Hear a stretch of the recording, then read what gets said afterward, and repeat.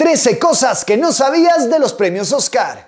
Yo soy Marco Guadalupe. Nadie sabe por qué se llaman Oscar. El trofeo en realidad se llama Premio de la Academia al Mérito, pero todo el mundo lo reconoce con el nombre de Oscar. Su origen no es muy claro, pero existe una popular teoría en el medio. Margaret Herritt, una bibliotecaria y también directora ejecutiva de la academia, vio la estatuilla durante las primeras ediciones de los premios y dijo que se parecían a su tío Oscar. Desde ese momento, la directora comentó el parecido con los organizadores y con los asistentes de la ceremonia y pronto todos empezaron a apodar de esta manera al galardón. En los documentos oficiales, el nombre Oscar se utilizó por primera vez en 1934, cuando un columnista del Hollywood Sydney se refirió al premio que ganó Katherine Hepburn como mejor actriz como un Oscar. De forma oficial, este apodo de Oscar se comenzó a utilizar en 1939 la persona más joven en recibir un Oscar. En la historia de los premios Oscar, Tatum O'Neill es la ganadora más joven con tan solo 10 años y 106 días en el momento de la ceremonia de entrega. Ella recibió el premio a Mejor Actriz de Reparto por su papel en Paper Moon en 1973. En el segundo lugar está Anna Paquin, quien ganó un premio a los 11 años por su participación en El piano en 1993. Y en tercer lugar está Patty Duke, que ganó a sus 16 años un Oscar por su interpretación en La Hacedora de Milagros de 1962. La persona más vieja en recibir un Oscar. El galardón del Oscar de mayor edad hasta la fecha es Anthony Hopkins. Él recibió el premio a Mejor Actor en 2021 por su papel protagonista en la película The Father. Hopkins tenía 83 años y 115 días cuando se celebró la ceremonia. En el segundo y tercer lugar, respectivamente, están Christopher Plumber a los 82 años y Jessica Tandy a sus 80 años, que ganaron una estatuilla de la Academia. La mujer con más Oscars de la historia. Meryl Streep tiene el récord de más nominaciones en la historia de los premios, con un total de 21, de los cuales solo ha ganado 3 Oscars en toda su carrera.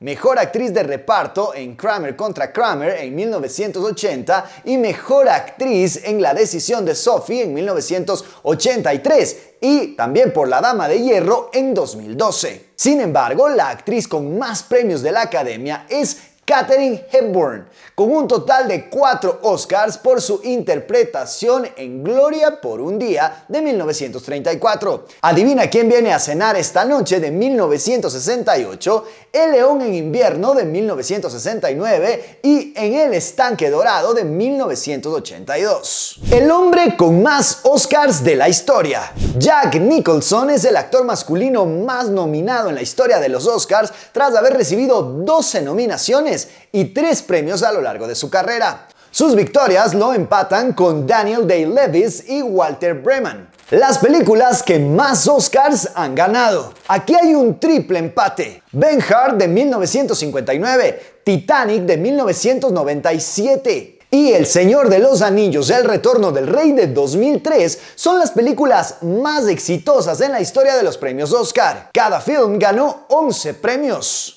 El Señor de los Anillos, El Retorno del Rey, ganó todos los premios a los que fue nominado y en general la trilogía de Peter Jackson ha ganado un total de 17 galardones. En este 2024, Oppenheimer podría hacer historia y formar parte de esta lista si gana todos los premios a los que está nominada. Actualmente es el film más nominado de la edición 96 al estar presente en 13 categorías. El peor momento de los Oscars fue en 1940, cuando el diario de Los Angeles Times rompió el código de la academia y publicó los nombres de todos los ganadores de los premios Oscar antes de la ceremonia. Después de esto, la organización introdujo la tradición del sobresellado que aún se practica hasta el día de hoy. La película más cara en ganar un Oscar. Avatar The Way of Water es la película más cara en la historia en ganar un premio Oscar en la categoría de mejores efectos visuales en 2023. El film tuvo un presupuesto de producción estimado entre 350 y 400 millones de dólares. ¿Cuánto cuesta una estatuilla del Oscar? Cada estatuilla está chapada en oro y cuesta 500 dólares. Pesa alrededor de 8 libras y media. La empresa RS Owens, con sede en Chicago, comienza a fabricar las estatuillas del Oscar un año antes del espectáculo. Sin embargo, el costo de una estatuilla en el mercado es de tan solo un dólar. Según las reglas de la academia que se elaboraron en 1951, el ganador o heredero de un premio Oscar que quiera vender su estatuilla deberá primero ofrecérsela a la organización y la persona recibirá la suma de un dólar estadounidense.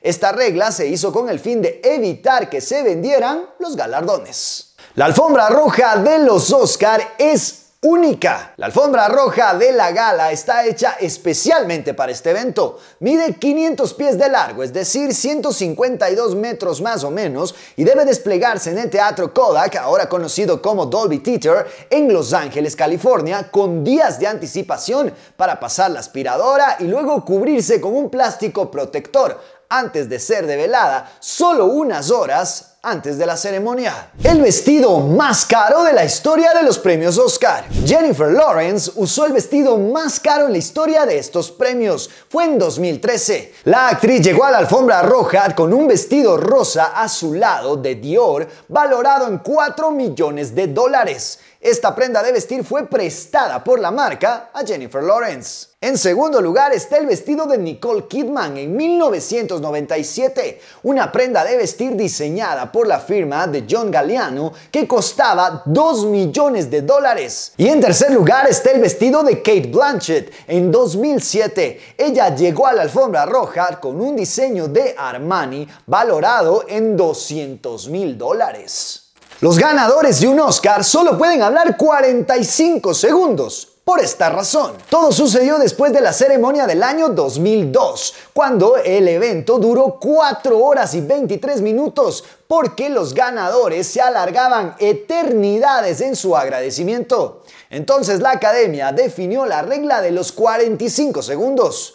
Esto significa que los discursos de los ganadores no deben ser mayores a este tiempo reglamentario y así evitan que las ceremonias sean eternas. En el momento que se acaban los 45 segundos, si los ganadores siguen hablando, serán interrumpidos con una melodía por parte de la orquesta. El récord del discurso de aceptación más corto lo comparten el reconocido director Alfred Hitchcock y William Holden. Ambos simplemente dijeron gracias. Mientras que el discurso más largo es para la actriz Greer Garson, que se demoró 7 minutos en el escenario cuando ganó el premio a Mejor Actriz de Reparto por Mrs. Miniver en 1942. El selfie más famoso de la historia. El tiempo pasa volando y aunque no lo creas, ya son 10 años de la icónica selfie que publicó Ellen DeGeneres en la edición 86 de los premios Oscar. Jennifer Lawrence, Bradley Cooper, Brad Pitt, Meryl Streep, Peter Nyong'o Jr., Lupita Nyong'o, Jared Leto, Angelina Jolie, Kevin Spacey, Julia Roberts y Channing Tatum fueron los actores y actrices que protagonizaron esta imagen durante la gala. En su tiempo, la foto llegó a colapsar Twitter y se convirtió en la publicación más compartida de la historia en 2014, un récord que se mantuvo por tres años consecutivos. Si solo el brazo de Bradley fuera más largo, es el título que le puso Ellen DeGeneres en su cuenta de Twitter a esta publicación. Diez años después, la foto acumula más de 2 millones de me gusta y 170 mil respuestas. Déjame en los comentarios cuál fue el dato que más te sorprendió y no te olvides de darle like al video, de suscribirte al canal y de seguirme en mis cuentas oficiales. Yo soy Marco Guadalupe, nos vemos en un próximo video. Bye.